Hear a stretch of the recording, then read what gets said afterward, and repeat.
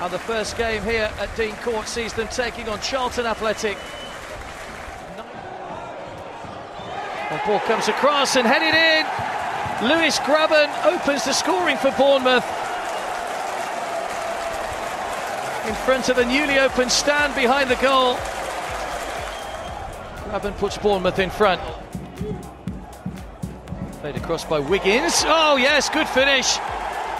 Jan Morgan levels things up. Charlton get their season off and running with an equaliser. Good shot on the turn from Kermorgant.